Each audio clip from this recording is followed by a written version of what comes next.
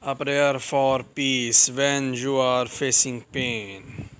Lord, we are hurting. The pain feels too great.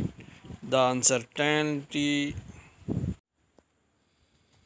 Wow, the future can easily fill our minds with fear and bring huge burdens to our hearts. Please take our pain away so we can sleep peacefully in your care. We thank you that you are close and that you are always with me.